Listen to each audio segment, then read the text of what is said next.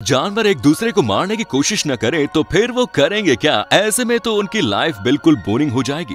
इसीलिए हमें भी एनिमल्स की वीडियो को देखने में काफ़ी मज़ा आता है, क्योंकि जानवरों को देखना होता ही काफ़ी मज़ेदार है।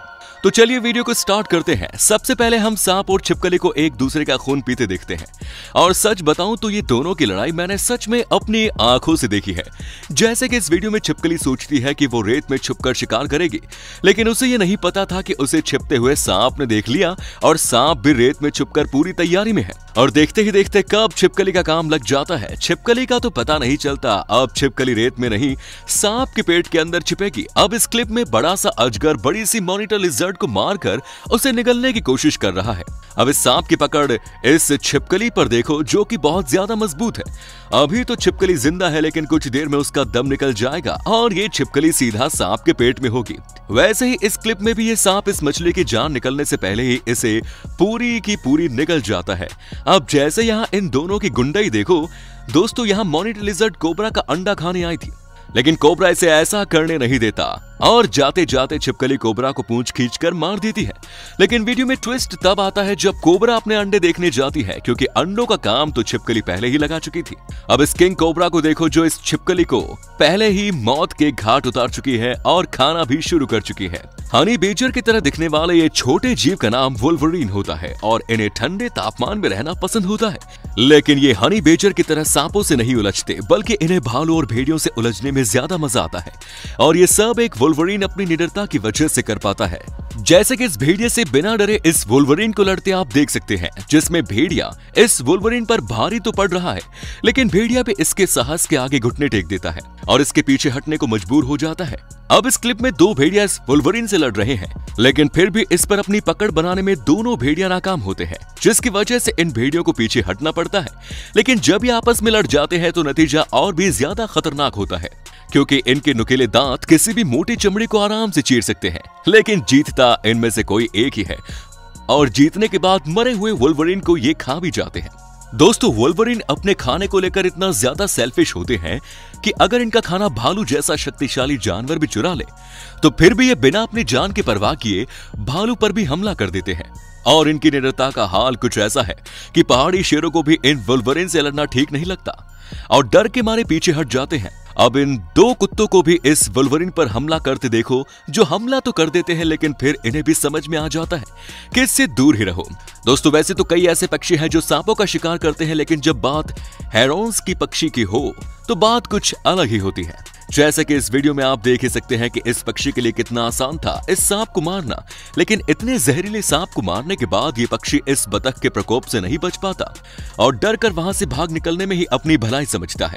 लेकिन बतख को इन पक्षी से दिक्कत क्या है? तो वो ये है कि ये पक्षी इनके बच्चों को मार कर खा जाते हैं। इसके अलावा ये पक्षी जंगली खरगोश तक को एक सांस में निकल जाते हैं।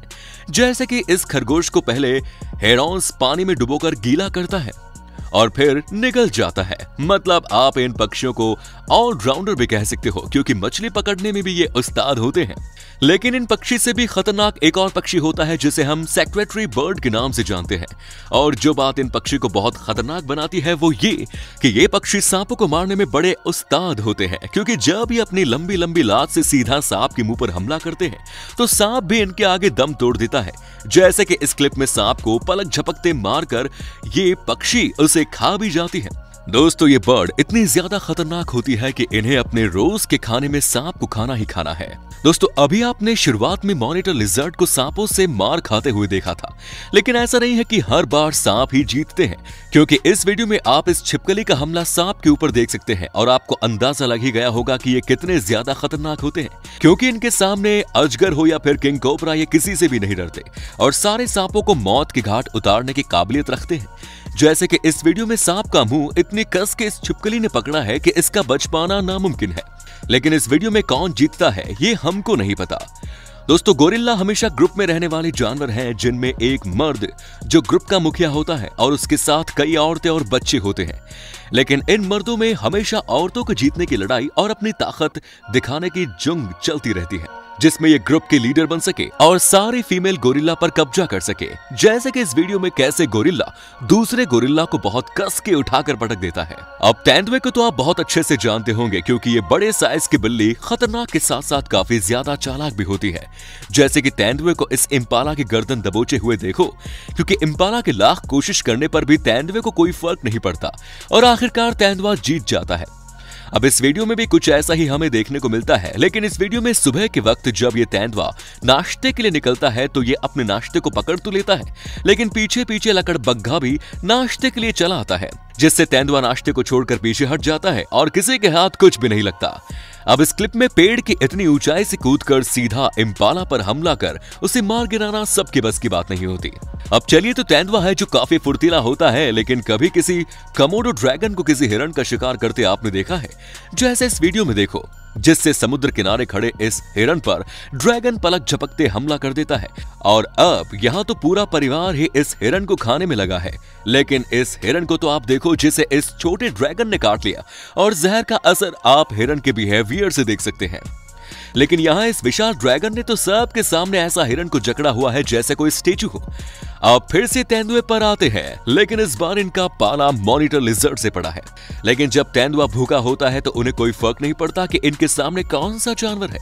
तेंदुए बस उस जानवर को मारकर उसकी भूख मिटाना चाहते हैं, और ऐसे ही कई वीडियोस में, जिससे तेंदुए ने मॉनिटर लिजर्ड पर हमला किया हो, लेकिन अब बिल्लियों के एक और रिश्तेदार से मिलिए, जिन्हें शायद आप न जानते हो।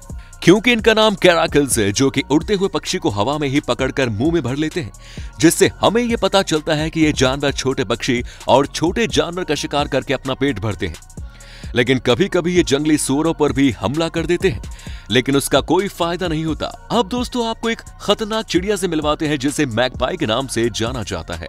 इन्हें ये बात बिल्कुल नहीं पसंद कि इनके घोंसले के आसपास कोई और जानवर आए, क्योंकि अगर ऐसा होता है तो फिर ये बिल्ली पर भी हमला करने से नहीं चूकती। और इस वीडियो में आप देख सकते हैं कि कैसे ये मैकपाई इस बिल्ली पर हमला करने के लिए सही मौका ढूंढ रही है। अब इस वीडियो में मैकपाई अपने एक हमले से इस चूहे को मौत की घाट उतार देती है। और तो और ये चिड़ियों पर भी हमला करने में पीछे नहीं हटती, और बेरहमी से अपने से छोटी चिड़ियों को मार देती है। दोस्तों, झुंड में रहने वाले ये बंदर अगर अपने घर पर आ जाते तो फिर ये एक मगरमच्छ को भी मारकर पानी से बाहर निकाल लाते हैं। और इस वीडियो में तो इस बबून ने शेर के बच्चे को ही किडनैप करके अपने पास रखा हुआ है। और देखने में तो ऐसा लग रहा है कि ये बंदर इसे नुकसान पहुँचाने की फिराक में नहीं है। दोस्तों, बबून का ग्रुप में हमला करना इतना ज़्यादा प्रभावशाली होता है कि तेंदुए भी इनसे डर कर भागने पर मजबूर होते हैं। अब इस वीडियो में इस अकेले बबून ने इम्पाला के बच्चे को अपना शिकार बनाया हुआ है। और इम्पाला की माँ को बच्चे को छुड़ाते आप देख सकते हैं। लेकिन बबून को जैसे कोई फ़र्क ही नहीं पड़ता। अब इस बबून के आने से पहले ही सारी फ्लेमिंगो हवा में उड़ जाती है। लेकिन बबून का भी जवाब नहीं। हवा में उछलकर एक फ्लेमिंगो को आखिर बबून पकड़ ही लेता है। दोस्तों, आप भालू लड़ते हैं तो लड़ाई बहुत ही ज़्यादा खतरनाक और डरावनी हो जाती है। आप इस वीडियो में देख सकते हैं कि भालू कितना ज़्यादा गुस्से में है।